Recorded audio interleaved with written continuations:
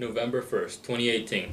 For break, we have mini cine, juice, fruit, and milk.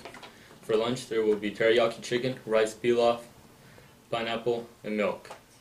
Friday football game versus Etna senior night. November 1st is Dia de los Muertos. Stop by Tanya's room number 4 at lunch tomorrow to collect sugar skulls, drink some Mexican hot chocolate, and learn some things about loss and grief. The tragic loss of Kai imp- has impacted us all. There is so much to talk about, or just come for coloring and cocoa. Repeat information skateboards and scooters are prohibited on campus. If you are caught riding them, you will be they will be confiscated and your parent will be called to come pick them up.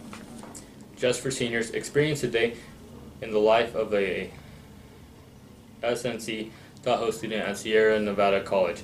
Fall admissions day and open house, November 2nd, 9:30 a.m. to 2:30 p.m. Subs are Bell Farid and Josh for Markuson.